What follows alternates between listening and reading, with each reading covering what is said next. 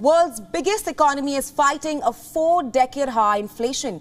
In an aggressive drive to tame the surge, the US Federal Reserve has raised its key interest rate by 75 basis points. It is the biggest hike in nearly three decades. With a 0.75% hike, the benchmark short-term rate is now at a range of 1.5 to 1.75%. The hike affects many consumer and business loans. The inflation, with inflation having reached a four-decade high of 8.6%, the central bank is ramping up its drive to slow growth. US inflation has been worsened by Russia's war against Ukraine and its effects on energy prices. Shortages of oil, gasoline and food are also propelling the inflation in the country. The US central bank is under intense pressure to curb soaring gas and food prices. The decision to impose a rate hike as large as this is an acknowledgement that Fed is struggling to curb the pace and persistence of inflation. Listen in to Federal Reserve Chair Jerome Powell to what he had to say. Clearly, today's 75 basis point increase is an unusually large one, and I do not expect moves of this size to be common. From the perspective of today, either a 50 basis point or a 75 basis point increase seems most likely at our next meeting.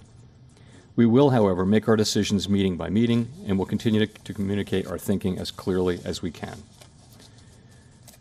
Our overarching focus is using our tools to bring inflation back down to our 2% goal and to keep longer term inflation expectations well anchored. The US central bank has flagged more rate hikes. The benchmark interest rate could see another 0.75 percentage point hike in July. Officials projected the rate would increase to 3.4% by the end of this year itself and to 3.8% in the year 2023. The US central bank chair stressed that they are determined to slow inflation but not by derailing the American economy.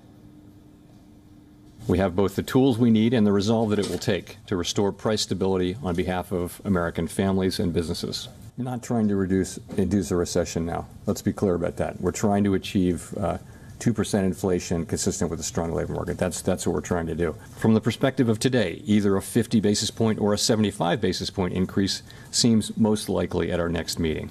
Meanwhile, a downgrade to the Fed's economic outlook accompanied the tightening of monetary policy. The U.S. central bank has projected a slowing economy and rising unemployment in the months to come. The U.S. economy is seen slowing to a 1.7% rate of growth this year. The forecast was at 2.8% earlier. Unemployment projected to rise to 3.7% by the end of this year itself and continuing to rise to 4.1% through the year 2024.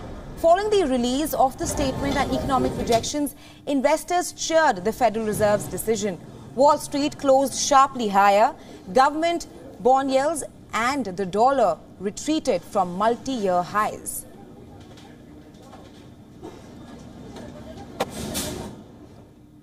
And for more on this, our correspondent Susan Tehrani has sent us this report from New York on the tightened monetary policy. Listen.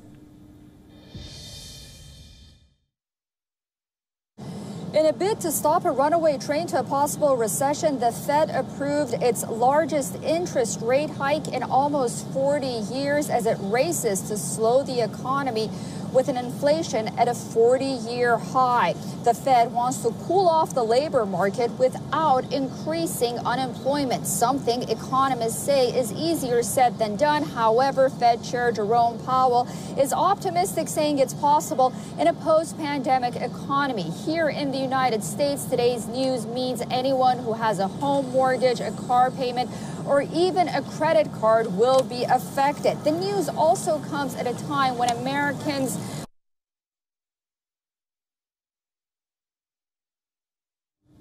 And more on this, joining us live from Miami is John A. Quelch, who is the Dean of the Herbert Business School at the University of Miami. Welcome to the broadcast, John. Thank you. Thank you.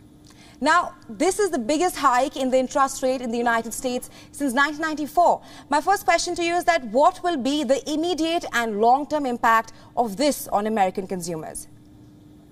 Well, American consumers are already uh, nervous about inflation.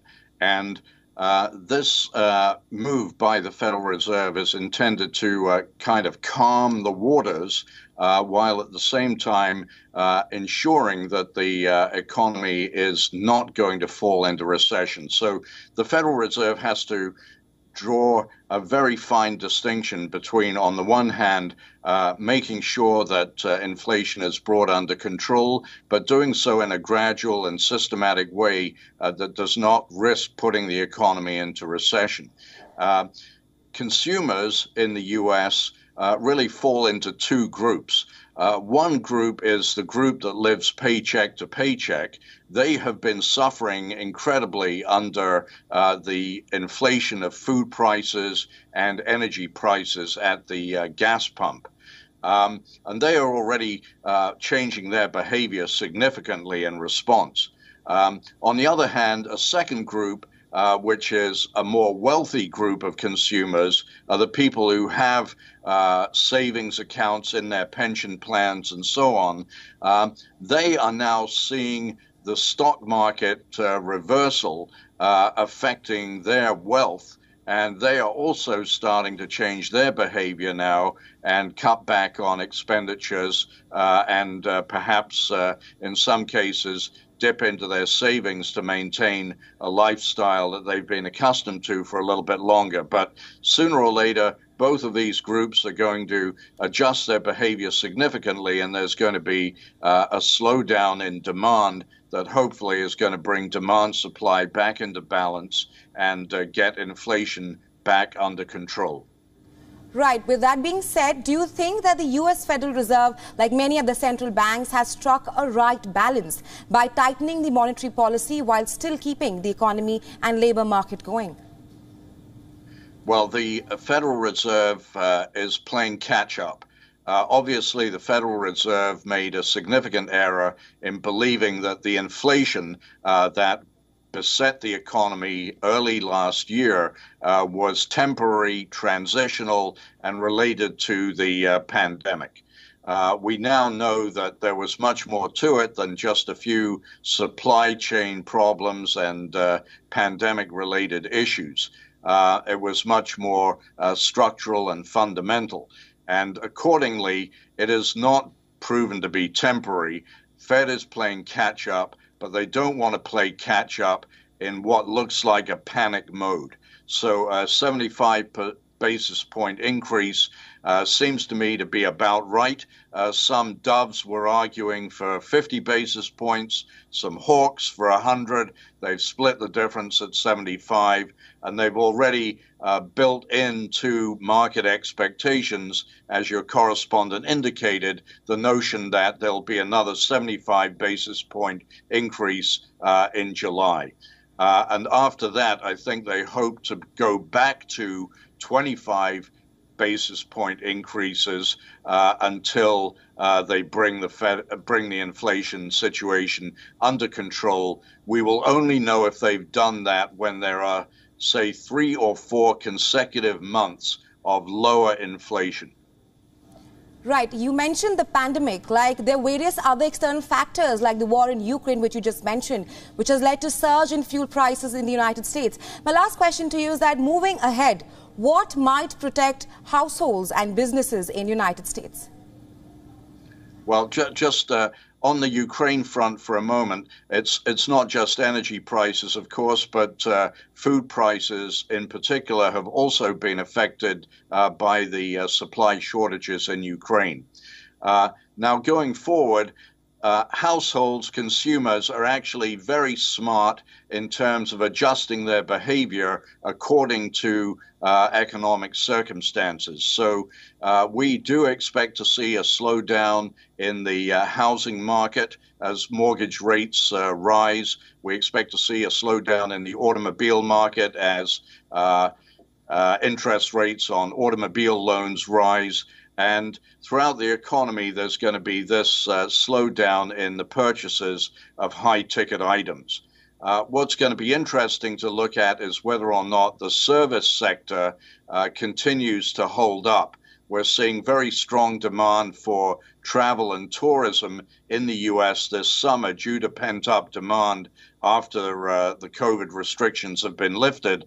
Uh, the question is, how long will that sustain itself before consumers start cutting back also on their consumption of services as well? Right. Thanks, John, for getting us up to speed on this. We will, of course, be tracking this throughout the day.